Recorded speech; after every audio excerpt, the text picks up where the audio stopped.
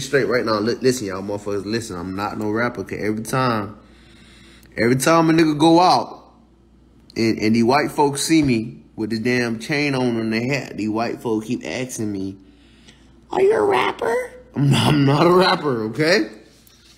I'm I'm not a rapper. I don't rap. I just had to get that. I just had to get that out though. Let y'all know that right now. I'm not no goddamn.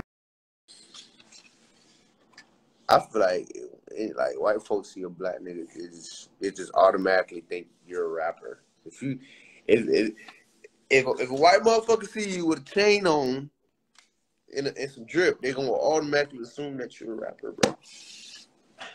You ain't going for nowhere else but rapping. Sheila, what's up? Yo, what's good, bro? What country you from? Say what country. bitch, why I gotta be from the country, He said what country? I'm from the United States Kingdom, bitch. I'm from the United States Kingdom. Fuck, is that a country? Bitch, is that a country? United States Kingdom. Hmm. I don't fucking know. I'm not gonna lie to you. I don't know where the fuck I'm from. I have no fucking idea. Yeah. Uh, What's up? We chilling, we chilling. What you drinking on?